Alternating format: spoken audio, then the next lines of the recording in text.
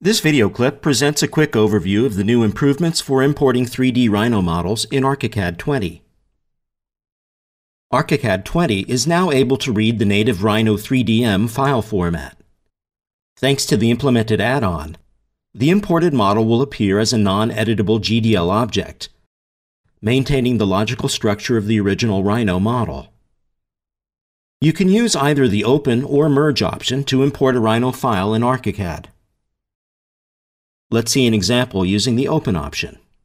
Activate the File, Open Menu command,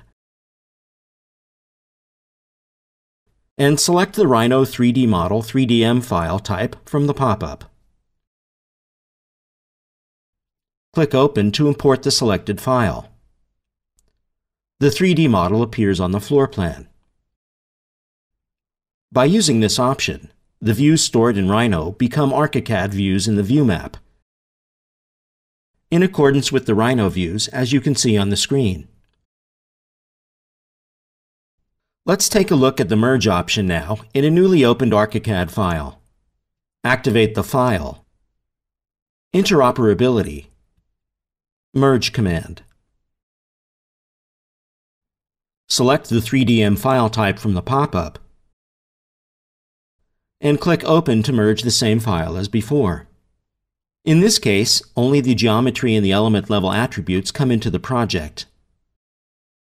The project level data will not change.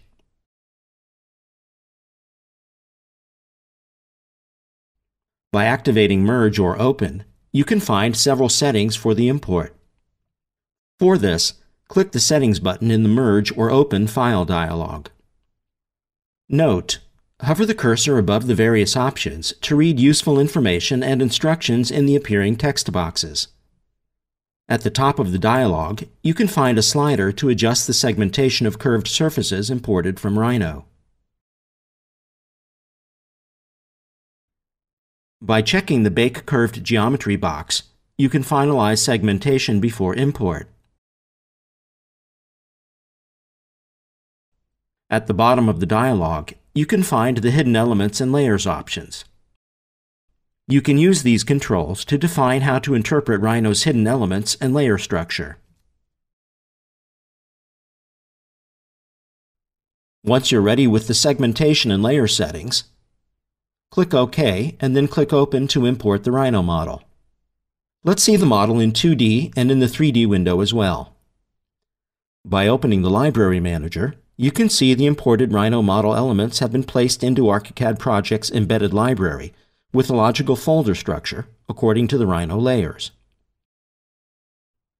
Thanks to this new technology, the implemented add-on interprets NURBs which are coming from Rhino and turns them into segmented surfaces in ArchiCAD. The Rhino model import is now easier, faster, and more sophisticated.